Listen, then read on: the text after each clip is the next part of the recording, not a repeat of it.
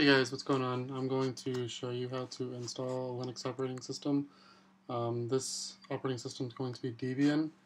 Um, it's going to be on a virtual machine and I'm just basically going to show you how to install it and configure networking for the Linux machine.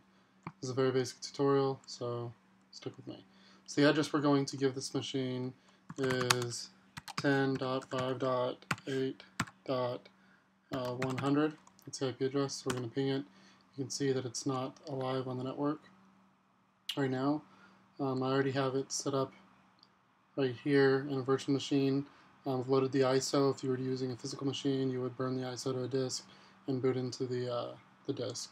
So basically you're going to hit uh, install.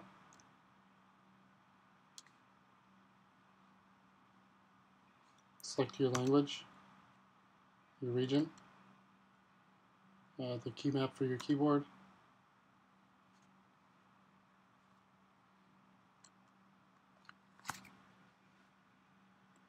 It's basically just uh, loading information off the CD.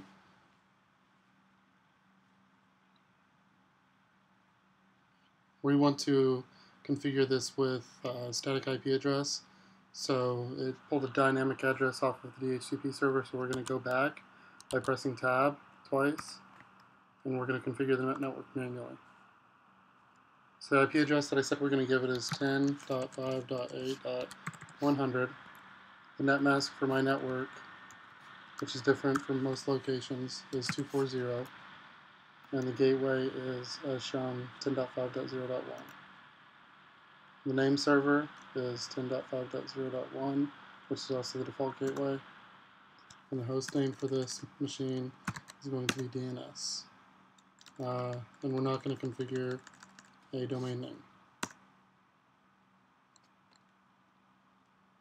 The root password is something that you set.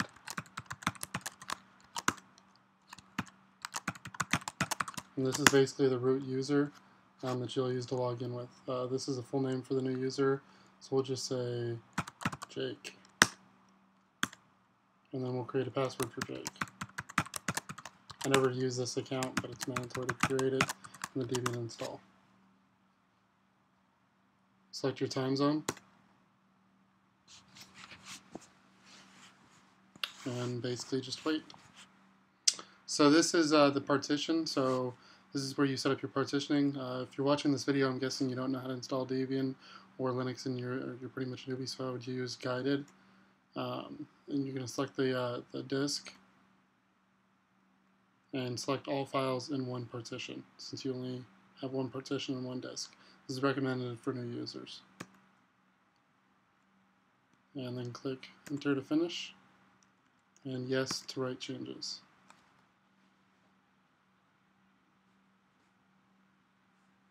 So I showed you how to give it a static IP address in the install and I'll also show you how to change or reconfigure um, the IP address.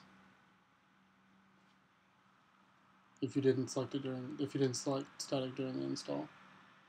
So you can see here now that the machine's already replying to the pings, so it's already live on the network. It was down and now it's up.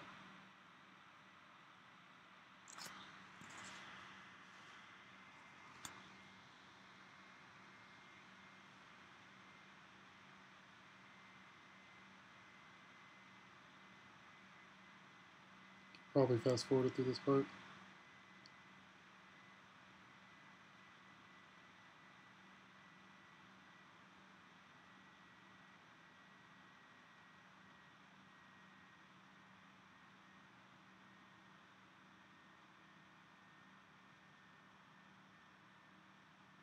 doesn't take too long, we should be almost done.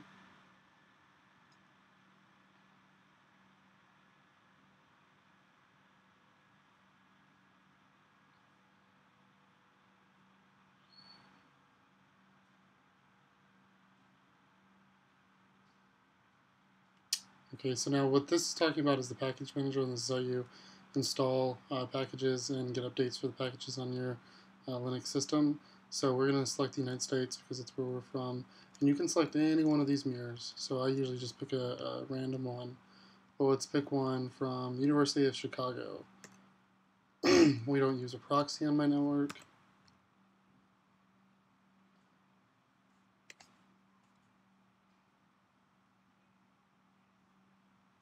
See it's still live on the network.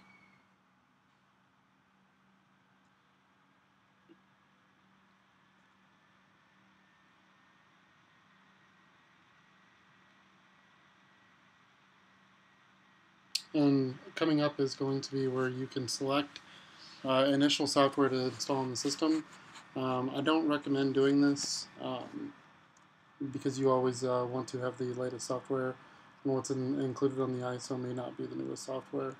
Um, I used the Debian net install, which is a very, very, very base install. Um, but it doesn't have many add-ons, uh, only it's basically necessarily essential, um, which is good and bad in some scenarios it's good because it, uh, it, helps your system run lightly and you can get better performance out of the, the server. This is, do you want to participate in using the package uh, survey? I always select no. We don't want the GUI because the whole point of this is a server. Um, and we want to hit SSH server, that way you can load into the machine without having to physically be there, which is very good for, for virtual machines hit tab to continue. And it's going to install software, the software that you selected.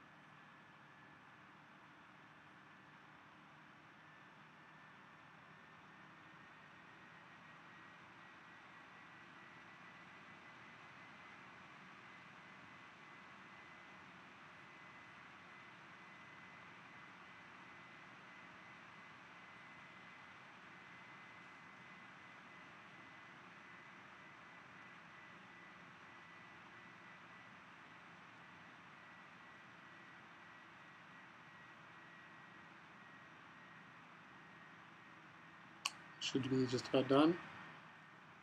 It's installing the Grub bootloader.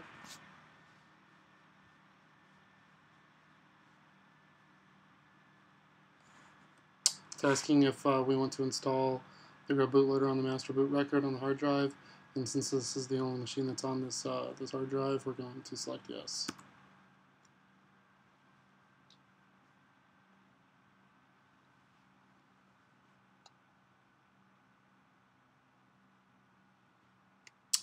Okay, installation is complete. It says pull your media out and continue. So if this is a physical machine, you would take the disk out at this time. Since this is virtual, you can just say continue. And you can see the machine is rebooting. And you can see likewise over here, our pings are dropping off because the machine's rebooting. As soon as we see the pings come back up, that means that the machine's back online. And since we installed the SSH daemon, we can actually uh, just remote directly into the machine from the command line instead of actually having to have a physical uh, terminal open.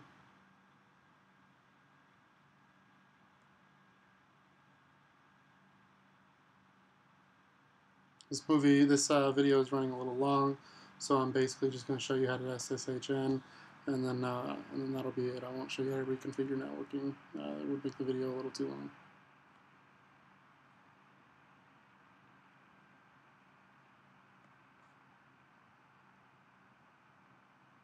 About to come back up.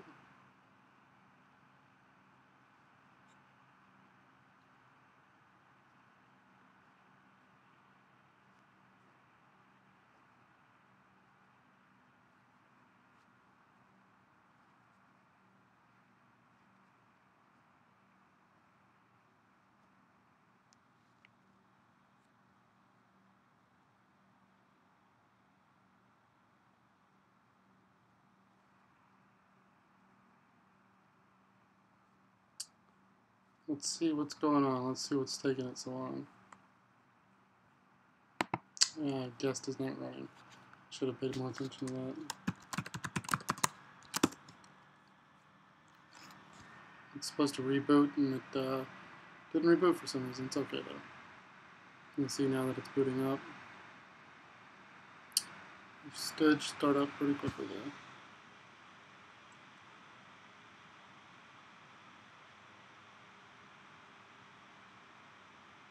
There we go. Now you see it's back online. You see that we're at the uh, the login prompt right there. So basically, we're just going to Control C out of this. SSH is the command. The user is root, and at symbol designates this is the target system, and the IP address 10.5.8.100 is what we gave it. it says, do you want to connect? Yes. Enter the password. And there you can see we are logged into the system time shows you your load and uh, how many users logged in, and that's it. So you have a fully functioning working system. Thanks.